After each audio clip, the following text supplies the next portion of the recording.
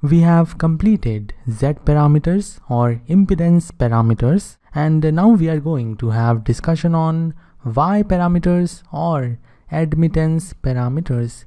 And in case of Z parameters current I1 and current I2 were the independent variables and voltage V1 and voltage V2 were the dependent variables.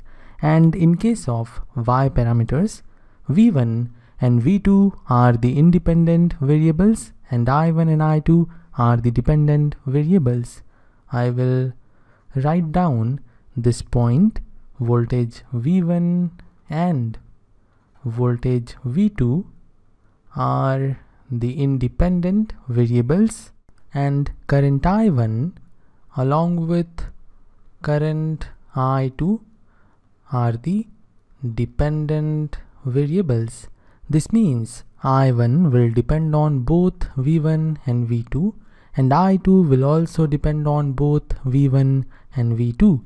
Therefore, we can say that current I1 is the function of the two voltages V1 and V2 and also current I2 will be the function of V1 and V2 and from here we can say that current I1 will depend on voltage V1 according to the parameter Y11 and it will also depend on voltage V2 according to the parameter Y12.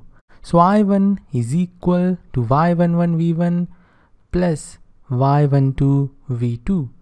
Let's say this is equation number 1. Similarly, current I2 is equal to Y21 V1 plus Y22 V2. Let's say this is equation number 2. Remember the two equations, they are very important and we are representing the four parameters by y11, y12, y21 and y22 because upon calculation you will find all the four parameters are admittances and we represent admittance by uppercase y therefore we are having y in the representation of all the parameters along with the required subscript. Now we can easily have the matrix form from the two equations. The current matrix which is a 2 by 1 matrix will have the elements I1 and I2. This is our current matrix and this matrix will be equal to the product of 2 by 2 matrix which is the admittance matrix and 2 by 1 matrix which is the voltage matrix. The admittance matrix will have the elements y11, y12, y21 and y22 and the voltage matrix will have the elements v1 and v2 so we have the admittance matrix and it is also known as Y parameters matrix. And we know we represent the current matrix like this and the voltage matrix like this. And we will represent the admittance matrix like this. So we can say that the current matrix will be equal to the product of admittance matrix and the voltage matrix. This is in the case of Y parameters. Now we will find out all the four elements of the admittance matrix and we will start with Y11. We can have Y11 from equation number 1 when V2 is equal to 0. So Y11 is equal to I1 divided by V1 current I1 divided by V1 when voltage V2 is equal to 0. Now we will name Y11 Here we can see that V2 is equal to 0. This means the output port is short circuited. Therefore, we will write short circuit and then we can see that we have the ratio of current and voltage. And ratio of current and voltage is the admittance. Therefore we will have the admittance which is driving point input admittance. Why driving point input admittance? Because here we have i1 divided by v1 i1 and v1 are the parameters of the same port.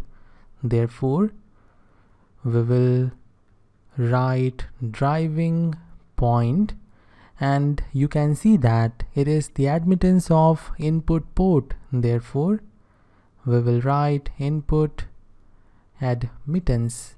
So this is the complete name of y11 and now we will find out y21 y21 will be equal to i2 divided by v1 when v2 is equal to 0 so y 21 is equal to current I2 divided by V1 when voltage V2 is equal to 0 and its name will be short circuit because V2 is equal to 0 output port is short circuited. And we again have the admittance. Current divided by voltage is admittance and this time we have forward transfer admittance.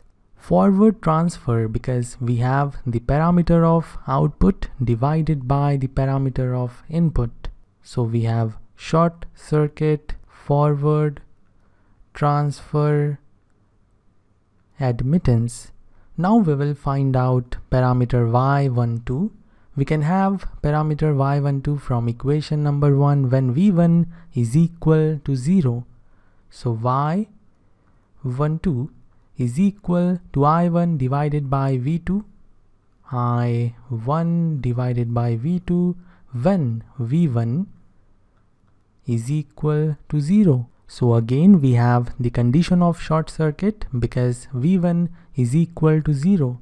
So the input port is short circuited and therefore we will write short circuit and then we can see that we have current divided by voltage. So again we have admittance and this time we have reverse transfer admittance because we have parameter of input divided by the parameter of output. So we will have reverse transfer admittance. Now moving on to the final parameter y22. We can have y22 from equation number 2 when v1 is equal to 0. So y22 is equal to i2 divided by v2 current i2 when divided by v2 along with the condition v1 equal to 0 so again we will write down short circuit and then we will have driving point output admittance. Driving point because we have i2 divided by v2 the parameters are of the same port and the port is output port. Therefore we will write driving point output admittance. So in this way, we have obtained all the four parameters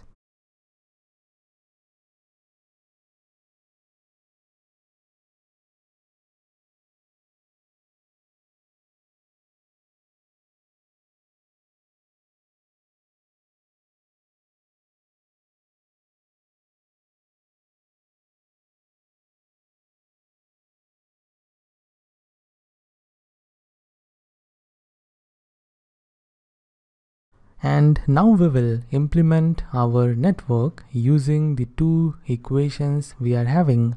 From the first equation it is clear that y11v1 is the current and y12v2 is also the current. because when we are adding them we are getting current I1 is the current so we can say that we are having one KCL equation in which if we assume I1 is the entering current to the node then Y11V1 and Y12V2 are the leaving currents at the same node.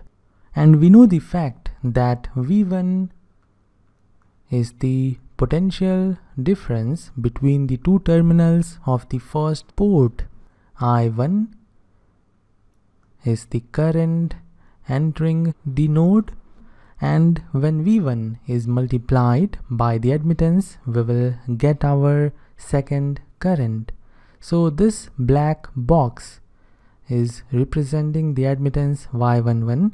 Voltage across this admittance is V1 and V1 multiplied to Y11 will give us our second current which is V1 Y11.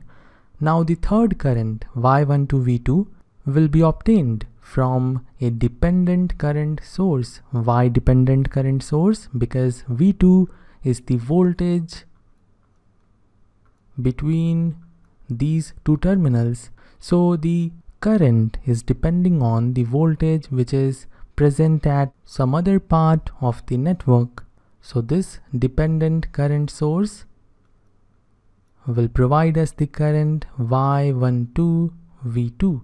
So we are done with half portion of the network and we will obtain the remaining half from the equation number 2 I2 is the first current. Then we have V2 multiplied to Y22 V2 is the voltage across this black box and this black box is our admittance Y22 so now we have our second current and the third current is provided by the dependent current source which is depending on voltage V1 this voltage Y21 V1 so this is the complete network which we have obtained from our two equations. So I hope this lecture was clear to you. I will end it here. See you in the next one